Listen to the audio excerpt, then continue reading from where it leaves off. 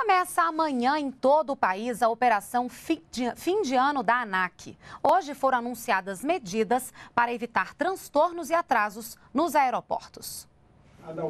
Entre as medidas anunciadas hoje pela Comissão Nacional de Autoridades Aeroportuárias estão o aumento do número de funcionários que fazem check-in e da tripulação dos voos. O governo federal se comprometeu a aumentar o efetivo da Receita Federal, da Polícia Federal e da Agência Nacional de Aviação Civil, que terá 315 pessoas a mais trabalhando. As medidas começam a valer a partir de amanhã e vão até o dia 13 de janeiro. Nós levantamos problemas muito, muito pontuais em cada um dos aeroportos, é, apresentados pelas companhias, e esses problemas foram é, encaminhados pelos aeroportos com soluções muito concretas. Também foi anunciado que as empresas aéreas devem manter todos os guichês funcionando nos horários de pico, além de providenciar aeronaves reserva e antecipar a manutenção dos aviões para evitar atrasos nos horários dos voos. O dia avaliado como de principal preocupação é 20 de dezembro,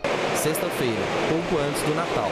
Para o ministro da Secretaria de Aviação Civil, as medidas adotadas deverão dar mais resultado se os passageiros fizerem o check-in com antecedência. Nós engrossamos esse, esse, esse apelo de que o, os passageiros é, procurem sempre que possível é, se utilizarem da tecnologia e é, buscarem é, a antecipação do check-in, chegar com seu check-in eletrônico pronto.